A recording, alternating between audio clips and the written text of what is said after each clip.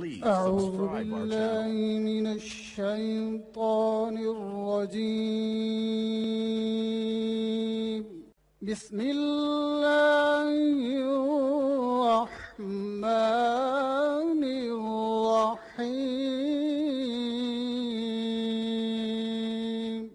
السلام علیکم ناظرین. امید کرتا ہوں آپ سب خیریت سے ہوں گے اور اس پاک رب جلیل کی رحمت کے سائے تلے ہوں گے۔ آپ تمام دوستوں کو آپ کے پسندیدہ چینل اسلامی قدم میں خوش آمدید کہتا ہوں۔ ناظرین، آج ہم جس عمل وظیفے یا ورد کے حوالے سے بات کرنے جا رہے ہیں، وہ ہر قسم کی مالی پریشانی دور کرنے کا وظیفہ ہے۔ جی ہاں ناظرین، ہمارا آج کا وظیفہ بہت ہی مجرب ہے، آزمایا ہوا وظیفہ ہے۔ جس شخص نے بھی یقین کامل کے ساتھ اس عمل، اس وظیفے، اس ورد کو کیا ہے اس نے اپنی ہر قسم کی مالی پریشانی کو دور ہوتے دیکھا ہے۔ دوستوں اس عمل کو اگر آپ یقین کامل کے ساتھ کریں گے تو زندگی بھر کے لیے یعنی ساری عمر آپ کو کبھی بھی کوئی مالی پریشانی نہیں ہوگی۔ عمل کی جانب جانے سے پہلے بتاتا چلوں کہ اس کی اجازت عام ہے، ہر عام اور خاص شخص اس عمل کو کر سکتا ہے۔ اس کے لیے خصوصی اجازت کی ضرورت نہیں ہے۔ آئیے عمل کی جانب چلتے ہیں۔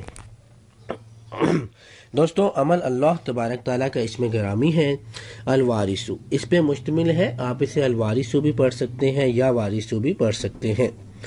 ناظرین، عمل کرنے کا طریقہ کار یہ ہے کہ روزانہ نماز عشاء ادا کرنے سے پہلے، جب آپ نماز عشاء پڑھنے کے لیے تیار ہوں تو باوضو ہو کے اس نماز یعنی فرض نماز ادا کرنے سے پہلے، ایک سو گیارہ مرتبہ اللہ تبارک تعالیٰ کا اس میں گرامی الوارثو یا یا وارثو کا ورد کر لیں۔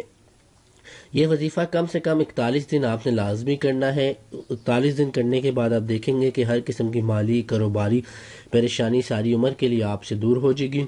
آپ کو کوئی بھی رسک میں تنگی نہیں رہیں گی، کوئی بھی مالی پریشانی نہیں ہوگی، کوئی بھی کاروباری پریشانی نہیں ہوگی۔ اور دوستوں بہت ہی مختصر سا اور آسان سا وظیفہ ہے، اس کو خود بھی کریں۔ اور دوستوں تک بھی لازمی شیئر کریں، کیونکہ دوسروں تک اچھی بات پہنچانا صدقہ جاریہ ہے۔ ہمارے چینل اسلامی قدب کو لازمی سبسکرائب کیجیے گا اور ہمیں دعاؤں میں یاد رکھیجیے گا۔ بہت شکریہ۔ اللہ حافظ